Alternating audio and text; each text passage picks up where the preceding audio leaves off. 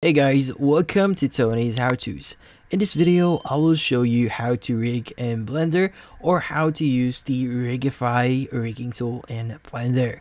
So this one is pretty easy, you just need to have the correct steps for you to do this. But before we start, make sure that you check out our latest offer under this video. So let's get started. Now first thing you want to do here is you want to open up your blender file where you have your model. So right now I have this uh, a person uh, model here. This is just a sample. So for us to start rigging is we first have to add our armature. So you just need to go to the top left, just the click on the add and you'll see the armature option here. But by default, when we click on this one, it's just going to give us this small armature here. So we could start adding our armature manually here, but there's actually an easier way for us to do this. So let's just delete this one. So for you to start adding that armatures or a template for a human figure armature, we want to first go to the edit tab at the top left. Now here, let's go to preferences. And here, let's go to add-ons. And you want to search for Rigify. So just type in Rigify here. And make sure that you enable the Rigify here. Just click on this one to enable this. And once you enable Rigify, you could go ahead and just close this one. But if you want to read further into the, the documentation, you can just click on documentation here. But for now, let's just close this one. And once you've done that, when we click on the add again in here, you'll see that the armature has now has options. So it has single bone, human, animals, basic. So we want to use the human, which is the meta rig. And we've just added a rig for a human or for a person here. But right now it's actually small. So we want to resize this one and match the current position. So first thing we first have to adjust our current view. So I suggest you click on or press on number one on your numpad. So it's going to give us this front view. Now here, since our rig is still selected, we want to resize this one. Just press on S to resize our rig.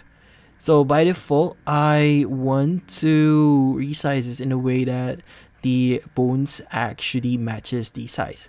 So to make things uh, easier, we want to switch over to viewport shading here. As you can see, we, we can see through our mesh immediately. So again, press on 1 and we want to match the collar bones here.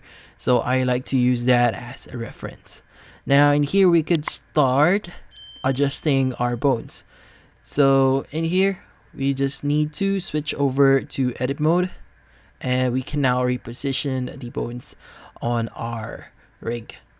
So right now we don't have any use for the face at the moment so we want to delete the face here. So just highlight this one, press on delete and bones. Oops, my bad. So you want to delete this section here. Bones and we just want to retain the one bone which is this one so that we can still move uh, the head. Now once you've done that next thing that we want to do is again we just need to match the current position of the bones to the body itself. Now to before you actually start repositioning it this one we want to mirror the movements because if we're going to do this manually, it's going to take a lot of time because if you reposition, like for example, this section here, it's not going to be copied on the other side and you have to also do that to the other side or in the right side or left side of that specific model. So for us to be fast with the matching, we want to go to the options at the top right and we want to enable the x-axis mirror. Now in here, whenever we move something, in this side here, it's going to mirror that on the other side as well, as you can see right now.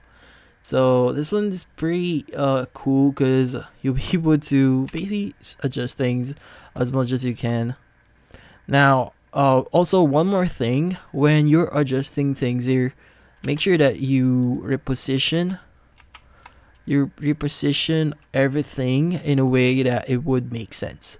So if this specific joint is usually located here, make sure that you uh, position it properly.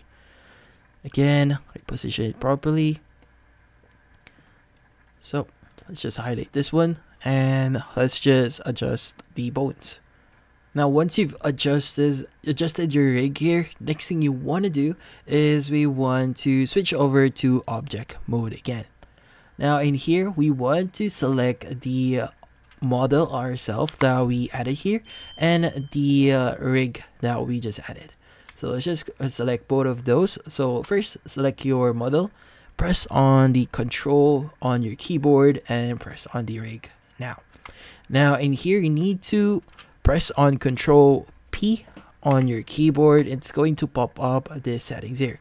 So we want to select the with automatic weights under the armature deform.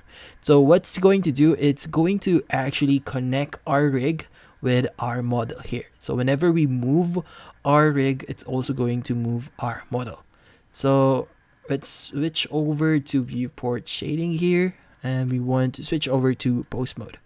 Now we selected the rig here and whenever we move something, like for example, we want to move this one, it's going to follow the mesh itself as well.